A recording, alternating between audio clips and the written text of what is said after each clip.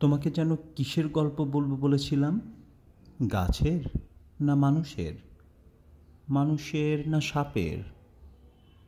ও হ্যাঁ মনে পড়েছে। গাছের মতো একটা মানুষ আর সাপের মতো একটা নারী।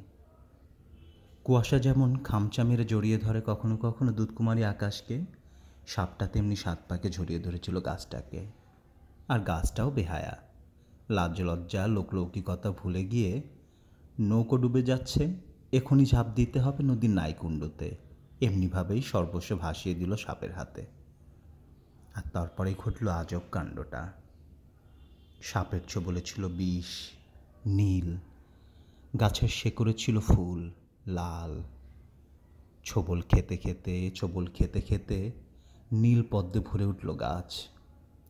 আর গাছের আলিঙ্গনে গুঁড়ো হতে হতে, গুঁড়ো হতে হতে সেই শঙ্কচুর সাপটা রাঙা হয়ে উঠল বিয়ের কনের মতো আলতা সিঁদুরে।